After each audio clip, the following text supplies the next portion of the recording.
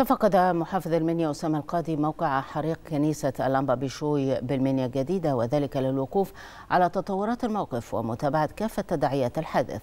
وفور وصوله إلى موقع الحادث حرص المحافظ على معاينة وتفقد الموقع العام للكنيسة.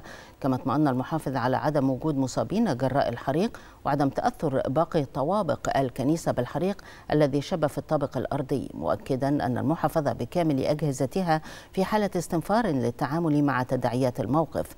وانتقلت قوات الحماية المدنية على الفور حيث تمكنت من السيطرة على الحريق وإخماده دون وقوع أي خسائر في الأرواح.